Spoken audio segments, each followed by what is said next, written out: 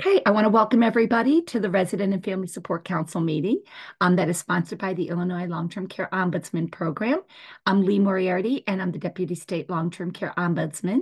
Um, we've been having these meetings um, for almost three years now, which is amazing that we've been doing them. We started off doing them every other week, and then we went to doing them two times a month um, because it got complicated when it came to every other week. And when it fell on, if there were three Tuesdays or four Tuesdays or five Tuesdays in a month, it kind of made things a little messed up for people. So we were getting a lot of emails from people saying, Where's the meeting? And it wasn't happening that week, it was happening the following week. So that's where we pushed them back to the second and the fourth Tuesday of every month. Um, the reason why I'm sharing that with you is we're actually going to be sending a survey out to all of you um, after this meeting because we want to get your opinion about the frequency of these meetings, the content of these meetings, and anything else um, that you can share with us in regards to these meetings.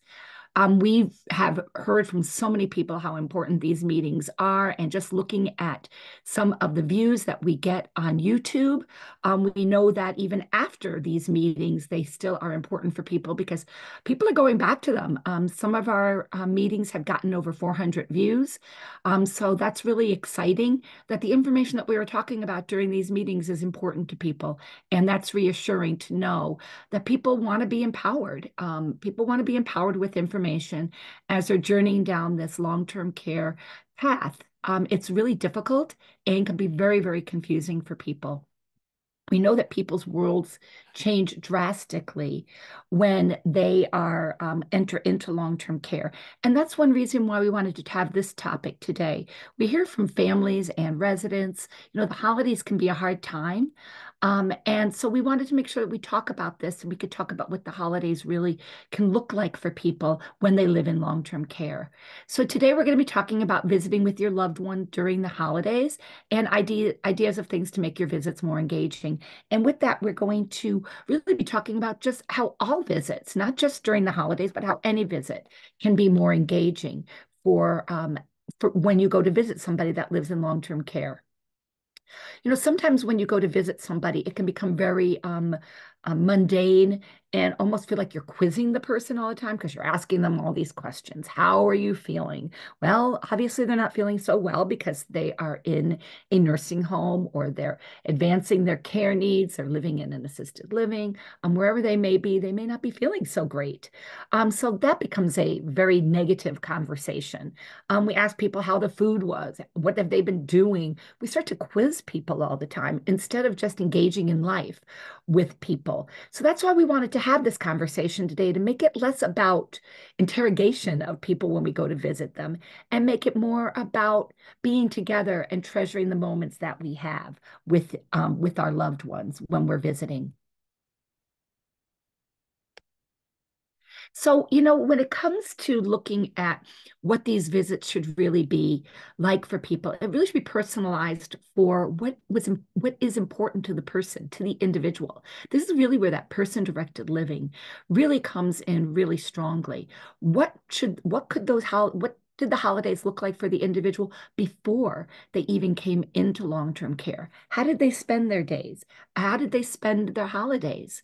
Um, so start thinking about what that looked like for the individual and try to give that back to them. Um, so many people feel a sense of loss when they enter into long term care. And so this is a way of having them feel again rejuvenated and connected to, to their lives and what their world should be about them and how they want to spend their day.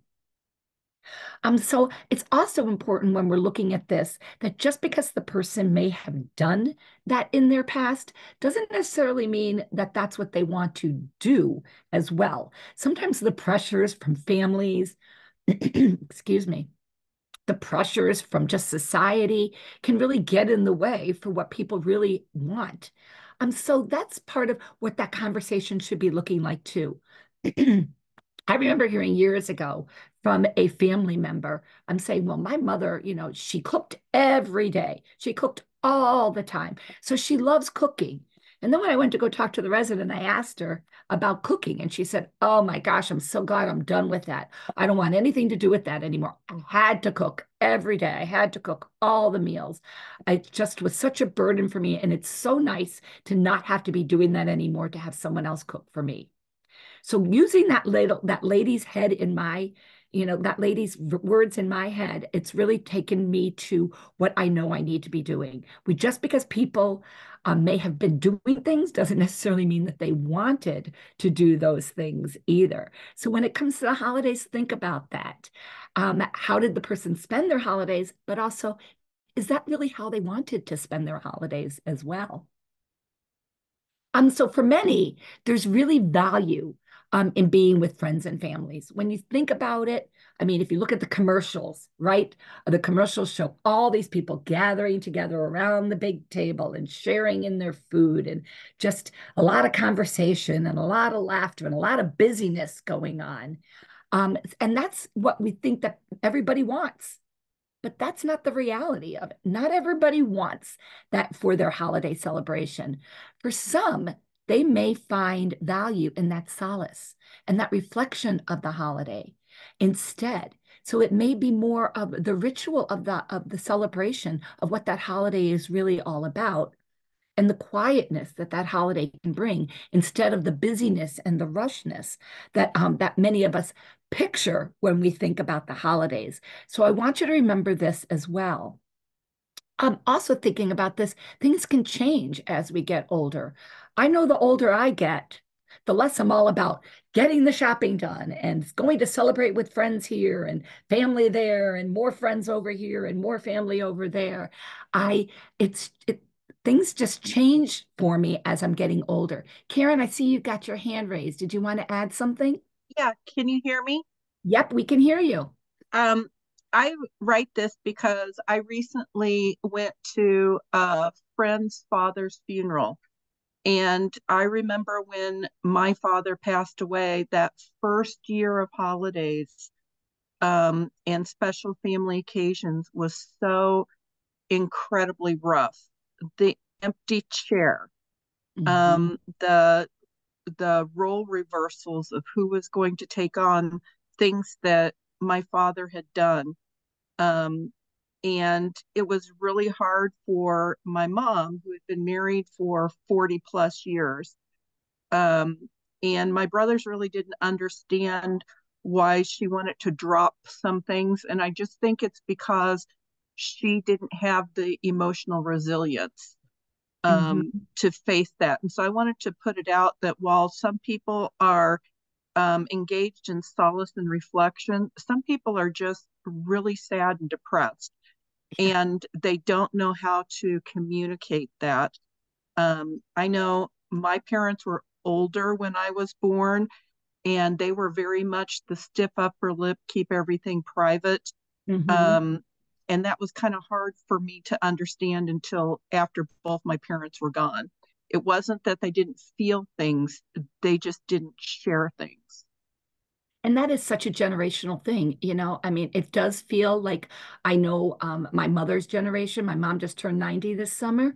And it is i feel like the younger uh, as our population as our ages get younger and younger we're getting a little bit more comfortable in doing that sharing um, because it's so encouraged. You know many people uh, talk to their therapists many people talk to their friends about things that my mother would never talk to anybody about. And so i think your your you know what your your words that you're sharing are really important for us to remember um, that this can also be a very sad time of year for people as well. Um, the, missing those people that we love and being able, and not just discounting it, but letting them have that opportunity to reflect and to be able to talk and give them the opportunity to do it and let them then choose whether or not they want to do that or they don't want to do that. That was very mindful of you, Karen, to um, to be astute and aware. And I hope your brothers appreciated that you were there to help kind of pull it a little back so that your mother could um, still be able to celebrate that holidays the way she wanted to celebrate the holidays, even though it might mean changing things. You know, I'm always going to be the little sister. We haven't outgrown that dynamic yet. Very true. Very, it doesn't matter how old we are, right? And sometimes they don't want to listen to the little sister. I'm the middle sister, and sometimes the older sister um, doesn't want to listen to me either. So believe me, I understand. One time she turned to me and said, You're starting to act like the big sister, and I'm not liking that. so I get where you're coming from. Um, and keeping everything that we're saying in mind, you know, really personalizing that holiday for the individual and what that can be for people. So, you know, think about how, especially if somebody is going through some emotions, um, don't bring it to, it doesn't always have to be about how are you feeling? Are you missing? You know, oh my goodness, you know, this is a sad time of year because we're missing our loved one. Um, try, you can sometimes, a little distraction can be helpful and can be very therapeutic as well. And sometimes that can happen through doing, doing something, doing something different bring the cookbook in. You know, you see a picture up here on the screen of the Betty Crocker cookbook. I had the yellow version when I got married. I got the yellow version. I don't even know if anybody uses a cookbook that much anymore because they Google a lot of the recipes um, or they're being shared through emails and text with people now. But bring in that old Betty Crocker's cookbook of your mother's, of your aunts. Um, bring it in and page through that. You're going to see that some of them have been folded down, some of the pages are out of order because those were their favorite recipes. And talk about that. Talk about the recipes. Talk about the cookbook, the memories just even seeing that cookbook can even bring to you. Another thing to think about doing when you go to visit an individual during the holidays is to do Christmas cards together. Um, like I said, my mother is 90, and at 90 years old, my mother was really proud. Um, about a week after Thanksgiving, she said to me, and I already have my Christmas cards done. And she was so proud of herself that she was doing those because this is the one time of year where she does connect with some of her long lost friends. Um, and at 90, many of those friends are lost. Um, but now it's interesting because she's kept that tradition going for so long that she hears from a lot of her friends' children and they update them on either how their mother is doing, how their father is doing, or that they've gone, that they've passed away, and sharing in some of the memories. So it's really been very, um, it's kind of cathartic for my mother to be able to sit and write those cards. And she handwrites every card and she writes a note in every card. So you can bring some cards in. And you know, no matter what what holiday you celebrate, it can just be that time of year to connect. Um, sit down with a cup of coffee, with a cup of tea, some cookies, and pull out the cards and together send some cards. It might be something nice and reflective to be able to do. Um, and again, we also think around the holiday times as being about food. And many holiday, um, different cultures celebrate their holidays, and food is a central piece.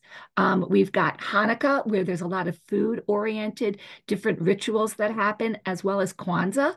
Um, many food rituals happen with that as well. Food represents different things, um, and bringing those that bringing that back to the individual and having them explain the history in their voice. And this may be an opportunity to have to videotape that for future generations so they can hear it from the elder in the family, the traditions that the family had, and the relationship with what those different foods symbolized. So this could be a way of that increasing that connectivity for future generations as well.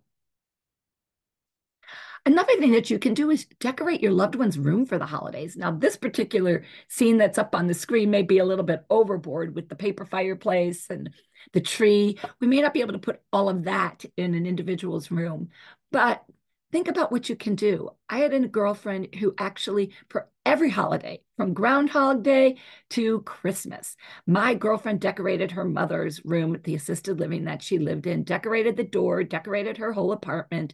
And that was something that they enjoyed doing together.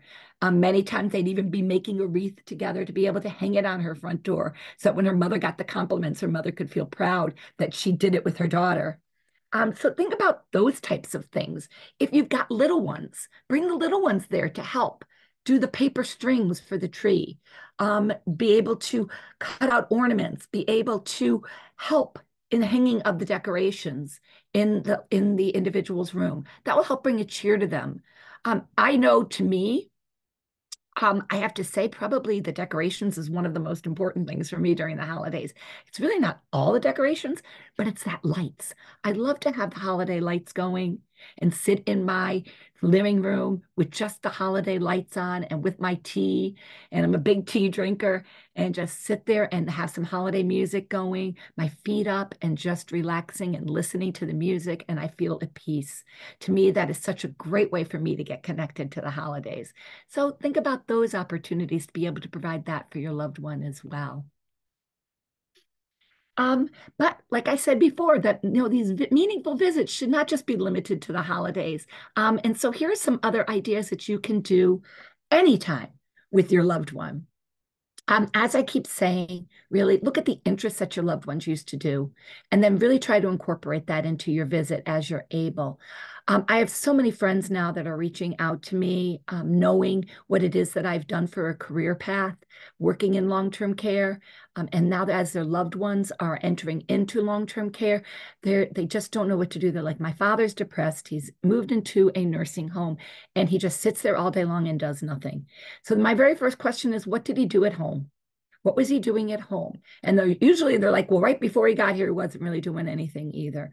Like, well, what what did he do in, in the past when he was busier doing things? What was, give me some ideas of things that he liked to do.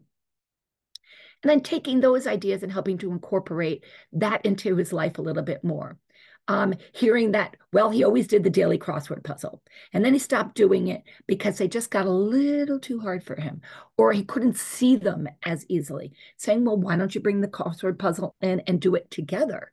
Um, you know, and be able to give him the clues, tell him the words. If you have a blackboard, even draw that out for how many letters are in the word with the connecting letters in there so he can see the connecting letters. Because sometimes those crossword puzzles can be too little, but there's also big crossword puzzles for people that have low vision. Can find that sometimes those bigger um, crossword puzzles can be a little bit less adult like um, so sometimes people don't respond to that as well. So take what it is and adapt. Adapt what might be best for your loved one. The bigger ones might be good for people that may be experiencing some cognitive issues, but still want that challenge of being able to do a crossword puzzle. Um, but for the person who is still more cognitively intact, doing the, the the Wall Street Journal crossword puzzle can still be can still be a good experience for them as long as you take it and you adapt the way that that gets done.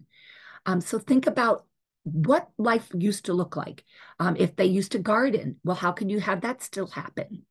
Um, can you, is there an opportunity to be able to garden at the community?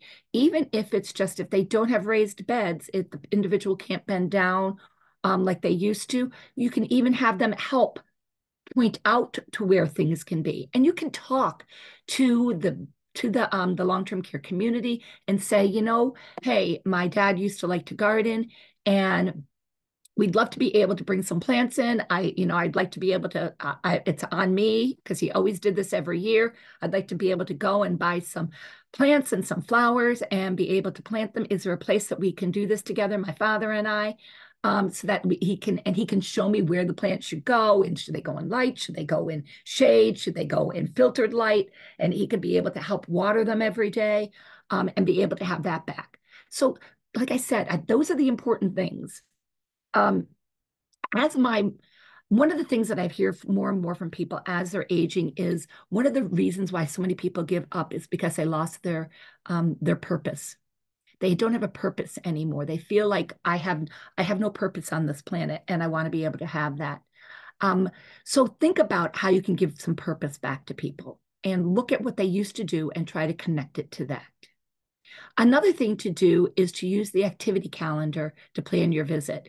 When my grandmother um, first entered into a long term care community, my mother was challenged with what to do. Um, I'm a recreation therapist by trade. So my mother reached out to me. was like, What do I do with grandma when I go to visit her? I'm not really sure what to do. We just sit there all day long and it becomes into a complaining session because I keep asking her, and I don't mean to, but I keep asking her, How are you feeling? She obviously isn't feeling so well. She lives in a long term care community. And then she starts on this complaint rant, and we start going down that path, and it makes the visit, I think, more stressful for her as well as for myself. So I was like, Mom, go to the activity calendar with her and say, Hey, I'm coming tomorrow. Is there something on this calendar that you'd like to do? Um, or if, the, if you know you're going to get the no from them, say, you know, I I haven't played bingo in a long time, and I'd love to try to play some bingo. Could we play bingo together? Or they're doing a travelogue. You know what? Why don't we go to that tomorrow? I'll come tomorrow and I'll bring you to it. Or if there's a craft, you know, saying, you know, I would really like to be able to have some decorations be able to hang in my house. I'd love to be able to do the craft. Mom, let's go to that tomorrow and putting it in that direction. Sometimes when we ask the yes no questions, we're going to get a no. So you can start with the how about let's do this so that you don't get it more of that yes no or I would really like to try this. So let's go together and see if that can change the way some of that conversation can happen. Um, and so think about is even if it's just of interest to you, they might be interested in it because you're interested in it. Um, and you know, like my mother used to wound up travelogue was something my mother loved to do. My mother loved to travel. And so as my um, grandmother was aging, my they would go to travelogue every single solitary week. My mother would bring her a cup of coffee and they would go ahead and they would have a cup of coffee together, go to travelogue and go on a trip together. And it gave them stuff to talk about afterwards. It made my mother then start bringing in pictures from her trip. And it really changed the visits from my grandmother and my mother. So I want to encourage that to happen as well. Um, another thing is the activity departments are there and they have a multitude of supplies and they're looking for stuff that has meaning and value for your for the people that you love as well. So don't hesitate in asking the activity department for any supplies that they may have. They have cards, they have games, papers, pens. Uh, many times they'll have writing paper and things like that. And They also will probably get some of the supplies that you might want as well because they write goals for your resident. So if they're writing goals and this can help them achieve their goals, you're you're helping them along as well. So don't hesitate to talk to the activity department about this as well and get their input and help, reach out to them for some supplies. Another thing is bringing in any pets or any children or grandchildren. Think about that. Um, I recently had a girlfriend reach out to me and said that her son was going to visit her mother with his baby. So this would be the grandchild going to visit with the great grandchild um, to go visit her mother in the assisted living that her mother lived in. And they were all kind of dreading it um, because the grandmother didn't know what she was going to do with this baby um, coming to visit and wanted to make sure that she was going to have an enjoyable time. She's two years old um, and she just didn't know what to do. And the grandson was a little worried um, that the grand the grandchild would get a little bored and they weren't really sure the great grandchild you know how this visit was all going to go so I just started offering out some suggestions to her. I was like, you know, well, could your mother and you um, the day before, even hide some things in the room, go to the dollar store and buy some little toys um, and hide them around in her apartment. And then you could send the baby um, to go around and try to find those little toys um, so that it might be like a little scavenger hunt for her. And your mother can do hot, cold as she's getting to the items. So it might make it really fun and engaging for them. Or color together. I do I just did that over the weekend with my granddaughter. She loves to color. So she always wants to color with her Mimi and that's something that, you know, we were able to do together this weekend and we had so much fun coloring. Um, I brought I brought her a holiday Santa Claus coloring book and the two of us sat there for hours and colored and just talked and just sat together. So, you know, that's when some of those childlike activities can be extremely appropriate because you're doing it with the children. I'm bringing the pet. Go for a walk Take the pet for a walk around the block. Even if it's a little cold out there, don't worry. Bundle up. Bring scarves, gloves, hats. Go out there. If that's something that is important to your loved one, to be able to be with an animal, be with a pet, go ahead and do that. Bring the pet to visit your loved one. And I'm guaranteeing that you're going to get smiles from a lot of other people as well. Um, when you bring in children and pets, many other people in the community will also be smiling and happy. It brings puts a smile on their face. Um, the one thing that you do want to make sure if you bring an animal in is that they're up to date with their shots and their, and their immunizations. Um, I would even bring them with me just in case so that if anybody questioned, you can say, well, I have the paperwork right here that shows that they're all up to date on their shots. That way, then you know you're not running into any snafus along the way and bringing the, um, bringing the pet to the community. Um, also, one of the things that you can do is help provide that stimulation for your loved one, if they're especially if they're having any cognitive issues, um, being able to mark off the days on the calendar um, and encouraging your loved one to do the same thing, circling it on the calendar when people are going to come and visit or when special things are going on, um, if there's entertainment going on in the nursing home, and having that be something that they can reflect on and kind of start to plan their days, get them to start thinking about the days ahead and things to look forward to in life, that meaning and purpose, things that they can start looking forward to. Can be some ideas on how to give people that stimulation and that happiness into their world. Some other ideas, I already mentioned that cookbook idea, but you can take this in even deeper. What you can do is you can talk about a particular recipe that they um, were that was their special recipe, or ask them what was their one recipe you loved to cook, um, and talk about do they remember the, what was in it, um, what goes into the recipe, talk about the aromas, how it made them feel, um, to be able to uh, just taste that the expression that was on their, uh, their family's faces when they made those, um, when they made that special recipe that everybody loved. Um, and then one of the things that you can also do is even see if the nursing home or the assisted living, um, if you can make that there. Um, one of the things I did suggest to my girlfriend who was talking about her grandson and the great baby, great grandbaby coming to visit is I said, you know, they could even make, she has a microwave in her room. I said, you can even make something together, like you can make Rice Krispie treats. And that's so much fun for a little kid putting the marshmallows into the pan. And when you put it in the microwave, having her watch how they blow up, it's just giggles and laughters for everybody. And then it's just such an easy thing that you can make and you can really enjoy them right away too. So think about that cooking even with your loved one and how that can help to inspire some happiness in their lives.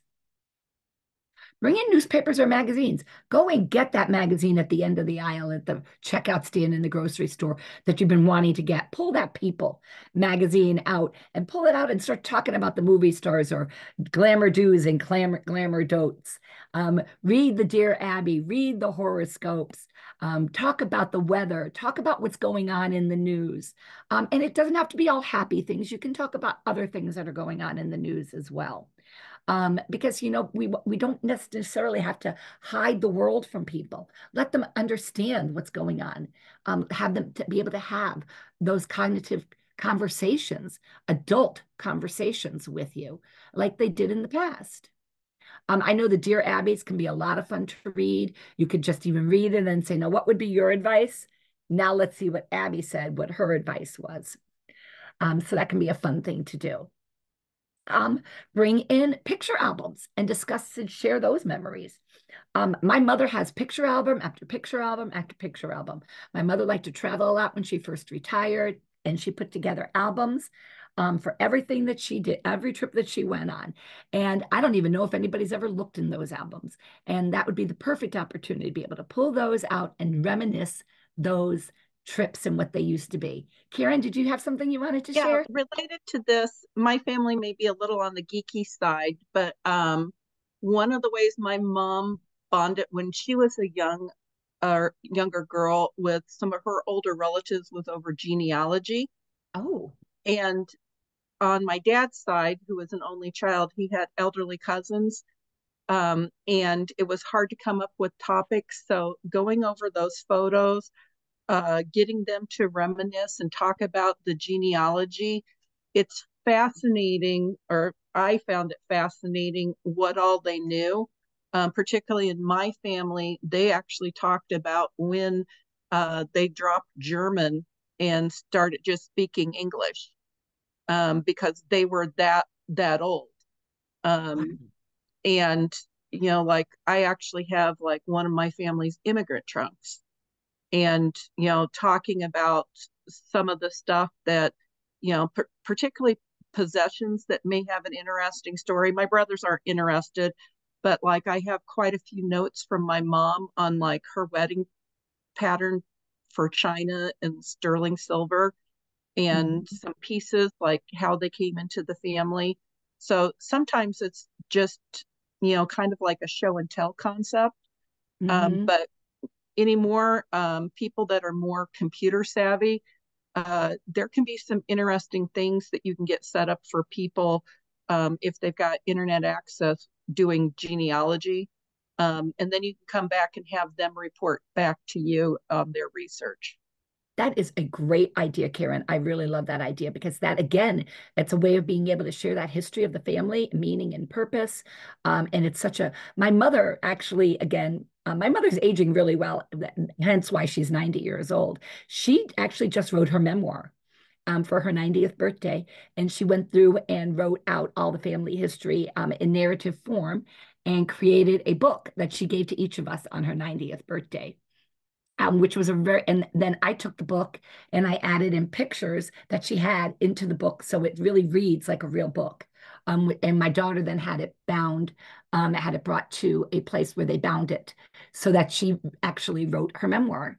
Um, That's so cool. It could also be fun, like for people to get together for a special occasion, an anniversary or birthday, um, to do kind of like a spinoff of the old This Is Your Life show. Oh. And reach oh. out to different people to put things together, either in recordings or clips. I'm a low tech girl, but uh, I know it can be done, and it could be fun for um, to bring in friends from like distances who can't travel themselves and it could be delegated and a lot of times people love doing that type of stuff Oh, you, what, how much fun is that? That would really be great. I know during the pandemic, I had a couple of girlfriends' husbands reach out because they were having some milestone birthdays and um, asked for a little video from all of us. And I didn't even think about that as an idea to do as somebody's getting, you know, it, what a great idea. I love that idea. That's a really, really fun thing to do. I'm going to remember that actually for my mother next year. I think that she would absolutely positively love it. And we've got relatives all over the country that she would love to be able to hear from. And that would be a great way of being able to put it all together. So, really good idea. Thank you for that, Karen. And that leads right to that memory book or scrapbook. You know, bring in that box of pictures. I don't know about you. I always tease um, that, and it's probably going to be the reality someday. I've got a big Rubbermaid bin of pictures that I tried to go through and I just don't have time for it. It started off as a little box and they kept growing, growing, growing. And now it's huge. I'm not kidding. And so well, I always say, you know what? Someday when I need that hip replaced or that knee, knee replaced, I'm going into a rehab facility. I'm going to go into a skilled nursing facility for rehab. And I'm bringing the big Rubbermaid box with me. And I'm going to work on my scrapbooks. And I'm going to get my books. I'm going to get my pictures organized. And I'm going to start working on my scrapbooks. Um, because that is probably be the perfect opportunity for me to be able to just dedicate time to doing that while I'm focusing in on my rehab and being able to get back to me. So the corollary with that is if you've got uh, younger kids to buy the greeting cards that you can record messages oh. or the books and ask your loved one to, you know, read and make a recording of like a book or a greeting card so that it can be sent as a special gift from them to someone in their family or to a friend that they're particularly missing that is another really good idea. I really like that. We had when my grandfather, my great, he would have been my great grandfather at the time, and this is very, very long, long time ago. Um, because he died when he was in his 90s, but they had the ability to be able to make a record. And we have a record of his, um, of him reciting a poem. And to be able to hear my great grandfather's voice, who I knew for six months of my life, um, was just always so special for the whole family. We'd always gather around the record player and it was all scratchy. Um, but to be able to hear his voice, it made it was my grandmother's father, and it would always bring a tear to her eye to be able to hear him reciting this poem. But what a what a thing to do to be able to have that voice live in history. And I love that idea of being able to do that. Really good idea, Karen. Thank you for those. Like those. Um, some other ideas right, right to is those videotapes of your loved ones' memories. Record them. You know, we got that easy thing right now called our cell phones, that it's very, very easy for us to be able to pull that out and record them. Um, there are books out there that can help guide. You could probably do a Google search on some of those things that can help guide through um, those questions, your favorite childhood memory, tell me about your mother and your father, tell me about the house that you lived in, and have them just go on and record them. Um, that can be a really fun thing to be able to do for that family history as well. Um, write letters. My mother loves to get a written note in the mail, a card, a letter, anything. It makes her feel so special. Um, and so have that, you know, have your loved ones sit with them, write letters, write letters with them, write letters for them, whatever it is that their ability is, and to keep them connected with friends and relatives. Um, my mother has, I had a girlfriend, I used to live in Connecticut years and years ago. We, I had my girlfriend that we were friends for two years. My mother and her mother were friends. My mother now and my girlfriend are pen pals, and they write to each other all the time. And she was in our lives for two years but she still writes to my mother. Um, and every Christmas, I just got a card from her. Um, she sent me, she sends me a card um, with a beautiful note in there every year. And those are the things that just bring a big smile to your face when you have when you receive something like that. So encourage your loved one to do that to bring a smile to someone else's face. Um, you can also promote those intimate movements, um, moments, um, hand massages, doing their nails, brushing their teeth, um, you know, these are things that caring. My girlfriend's mother said to her um, when she was sick, um, one of the things that my girlfriend's mother would do with her own mother when her mother was sick is she'd brush her hair. And that was that tender moment that she would do with her mother and brush her hair. And it was the, their, their way that they showed love. And so then when my girlfriend's mother got sick, my girlfriend's mother turned to her and said, You never brush my hair. And that's what she wanted from her daughter. So my girlfriend started brushing her hair when she would go to see her and just spend that time in solace, just brushing her hair. And it would make my her mother feel so good. And those were such tender, loving moments that they had together. Um, that hand massages, um, doing those nails. My grandmother always wanted her fingernails done. And I used to always say it's because she could look at that and it would make her feel pretty. That's what she could look at all day long. She could look at her hands and it always made her feel like she was living. It made her feel pretty. Um, she wasn't a big makeup person, but she liked to have her nails done. And so that's something to be able to do. Brushing teeth, you know, they don't get brushed that great sometimes in nursing homes. Um, so, you know, that can be another thing that cleanliness, being able to feel good about yourself. These are all things that we can help generate as we're being with our loved ones, making people feel good about who they are. I'm um, taking your loved one out for lunch, going on outings, shopping, walks. What a great time of year to go to the mall you know, just go to the mall and look at the kids lined up to see Santa Claus. Usually there's a carousel or something else going on. Um, walk around the mall, get yourself a pretzel, a bag of popcorn, a cup of coffee, sit and just watch the people hustling and bustling, do some window shopping, um, even do some real shopping. Uh, just enjoying that time, go out for lunch, one of the things that I would encourage is that you um, plan that outing to someplace that you've gone to before so that you know what to expect. A mall, we it's typically very accessible for people because um, there's a lot of strollers, wheelchairs, things like that. So you can usually have high success by going to a mall. Um, not all restaurants are going to be as successful being able to get in and getting out. So make sure that you make it as easy for the person and less frustrating for them as possible so that they want to continue to do it and they don't feel embarrassed or they don't feel they're putting other people out, those types of things. Um, and also try to plan a time when it's not too busy. My mother's hearing is really bad, and one of our favorite restaurants, she just turned to me two weeks ago and said, I don't know if we should be coming here anymore during the big breakfast hours or lunch hours because it's so loud in here. I'm having a hard time hearing you. Um, so well, I said, you know, we can always go for lunch at three o'clock, mom. I have no problem going for lunch at three o'clock. That's perfectly fine with me. So we're going to start altering if she wants to go to that restaurant. And those are the types of things to think about.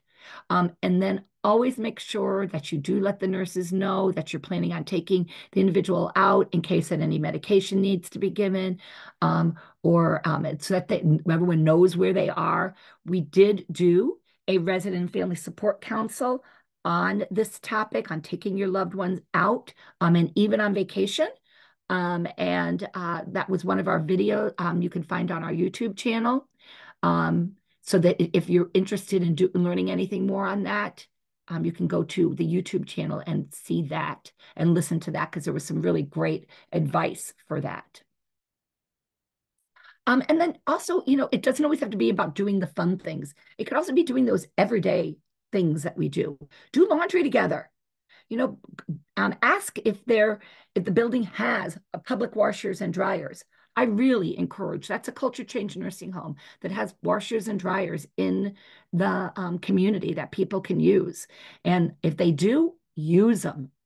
Go there, do laundry together, relax, enjoy it, enjoy the beautiful smell of fresh done laundry, that freshness smell, enjoy that.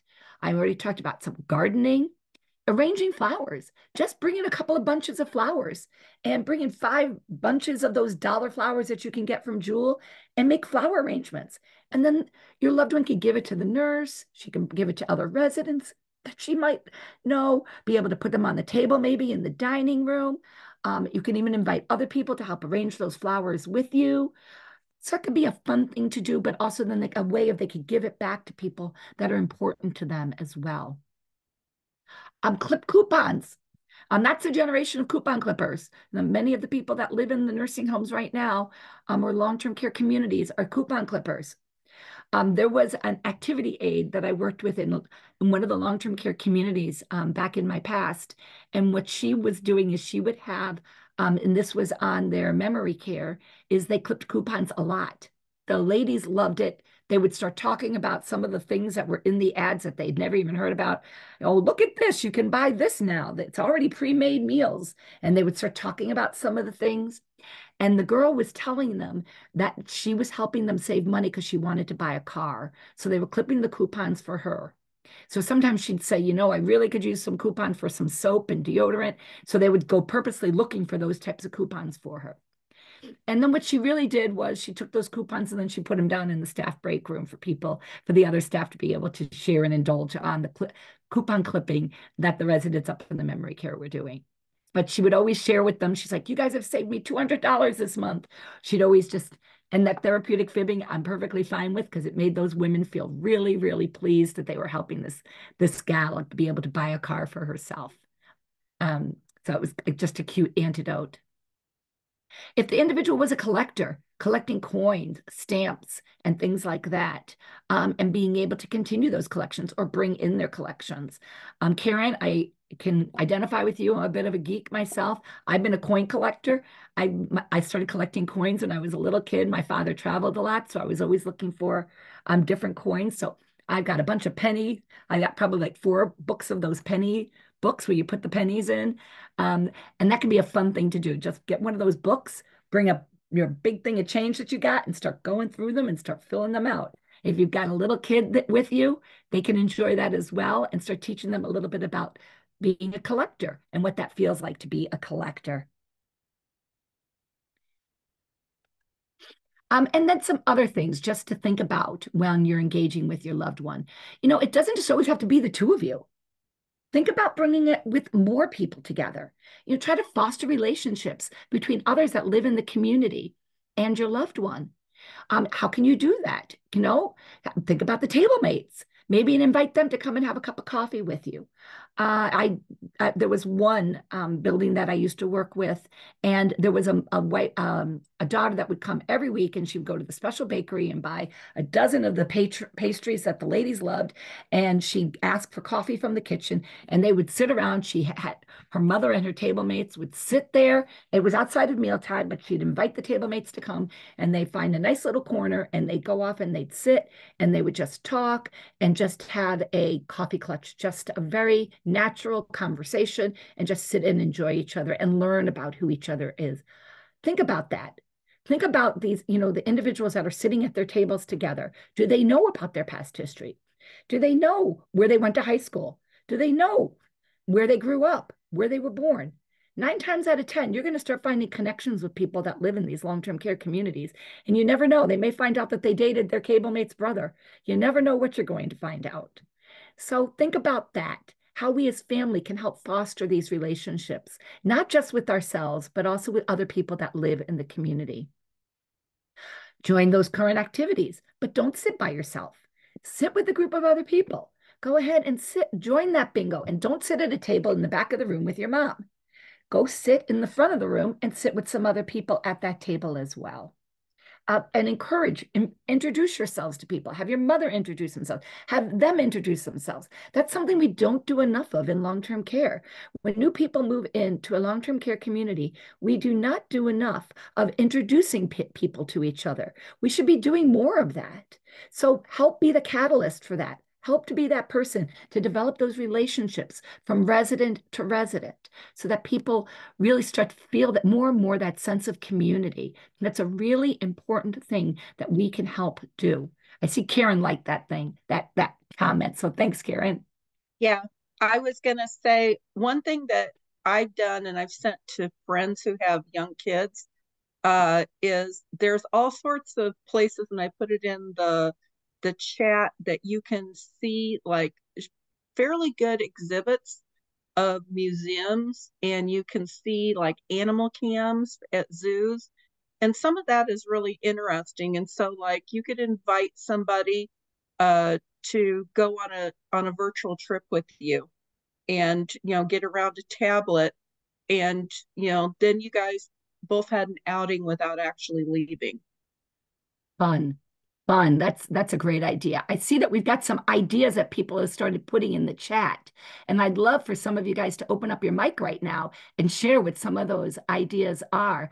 Um, I see that um, Kay Garrity, you um, uh, you like the Color Me with Mimi. It's a great name for a TV show. Yeah, we'll have to do that. I think my my granddaughter and I would enjoy that. I like that. Um, I, could you open up your mic? Would you be interested in opening up your mic and talking more about the presentation that you've done on family photos in the senior living communities? Okay, there, I did it. Yay. Can you hear me okay?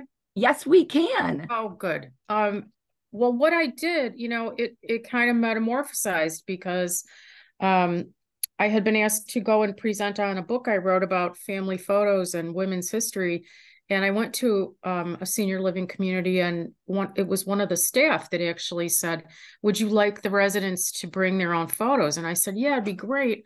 But what would be more powerful is if we could, you know, present, show them in a large format so everyone can see them.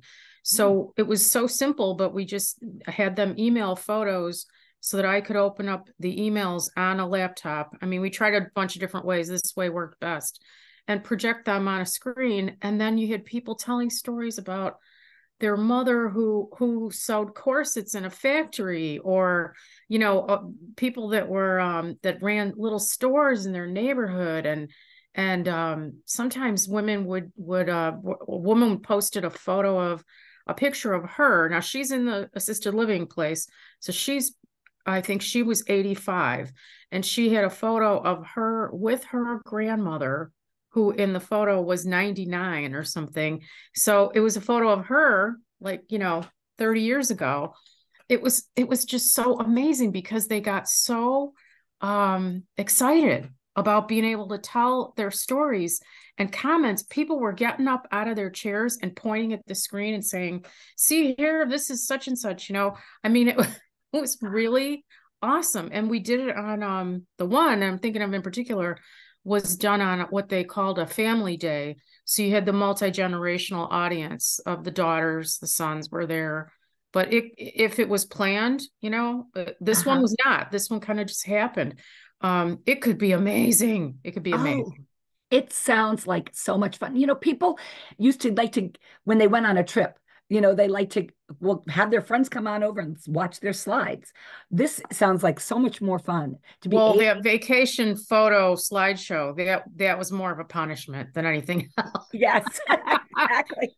This so is this actually fun. fun. This is more fun but people just loved it. So yeah i think that i love when you were talking about the photos i said oh my god because anybody could do this really if you have a room with any kind of a screen I mean, easily done.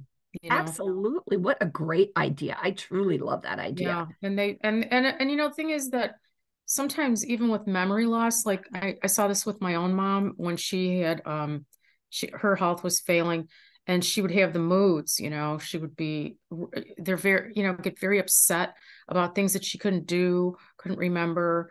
And I went into and I was working on the book and I went into our own family archive, which was boxes and things. and I started pulling photos out just to see, hmm, can I use this one? Can I use this one? And she had a complete personality change. She walked into the bedroom, she sat down, she started looking at the pictures and and and remembering things that had happened. Oh, this is when we were on the farm. And she said, That's Sonny Wanzel. He had a car with a rumble seat and you were in it. And I was like, Really? Okay. So she had some great memories, but the images uh percolate that you know and and mm-hmm. and they're almost always joyful i've never had anybody be sad or say oh this is terrible thing that happened no no they always want to tell the good story so i highly recommend it I love that. And, you know, I mean, because you think about it, we all pull our cameras out. We don't usually pull them out when we're in bad moods. We pull them out because we want to capture the memory. Right. So it's wonderful because you actually did capture the memory because years later, here your oh. mother was taught, you know, she was well, able whoever took that picture captured the memory and yes yes. i highly recommend it. I just want to say right now make sure you if you have those old photos scan them before they deteriorate. That's my commercial message to you.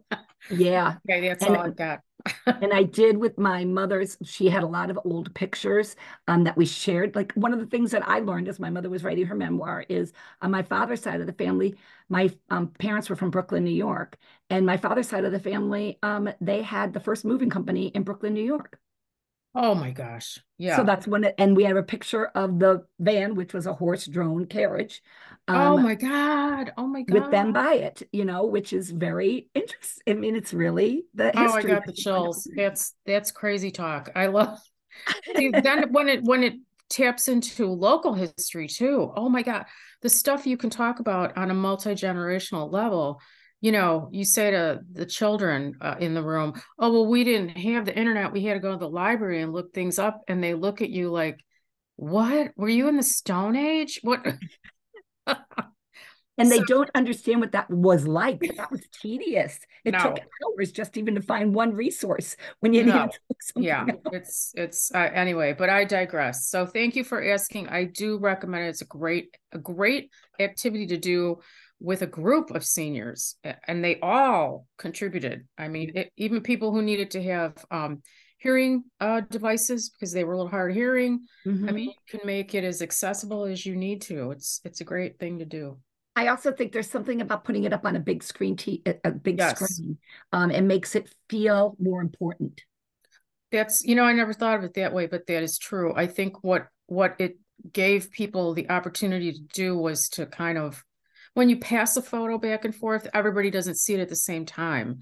You know, so somebody might make a comment, and then by the time you hand it down to, you know, this lady who's over here, uh, the moment's already gone. You know, where mm-hmm. it's it's like it reminded me of um, art classes I had in school, where people would comment on on pictures or paintings or things like that. Huh. It yeah. was just a great a great it was a great experience and I I literally walked away I was like wow because they were just the, the stories the stories yeah. were incredible like yours amazing.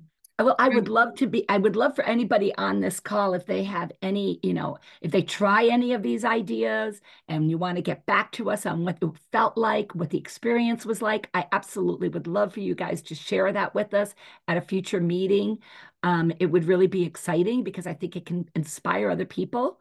Um, like your stories just inspired. I I, you know, I used to consult to long-term care communities back in the day, and I so that's where a lot of these ideas is ideas that I would share with people as I was consulting, um, and it was fun to see them play out and and you know just the fun that people could have with it. When people start purposefully planning your visits and i think that's part of the message here. We just kind of go thinking we're just going to go to visit. Um, and you should try to plan a little bit so that it can, but let it flow as it needs to flow. Um, but just so that it doesn't just become about the ailments all the time, um, because that becomes depressing for everybody. Um, and there is one last thing that I do want to share. Uh, it was about the visiting hours. Um, i wanted to bring that up at the beginning.